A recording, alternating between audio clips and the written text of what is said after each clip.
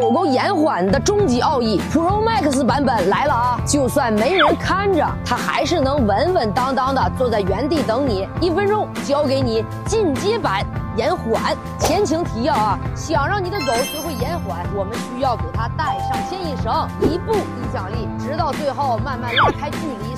开绳子，想让它在没人的情况下原地等待呢，我们就要利用一个门口进门躲起来。一开始不用多长时间，两三秒足够了。如果它表现的非常好，马上回来给它奖励。接下来延长时间，躲个四五秒再出来。要是狗狗迫不及待的追上来了，可以给它点压力，绷直牵引绳，把它领回原地，然后再松劲儿。这时候我们要放宽条件，从两秒再重新做一遍。当它能够原地等待十秒以上。我们可以选择在不同的地方出现，让它觉得这个主人怎么神出鬼没的，我可不能轻易的犯错误。这种方法非常适合生活化，无论你是去超市买个东西，还是拿个快递，你的狗就都能乖乖的在原等你啦。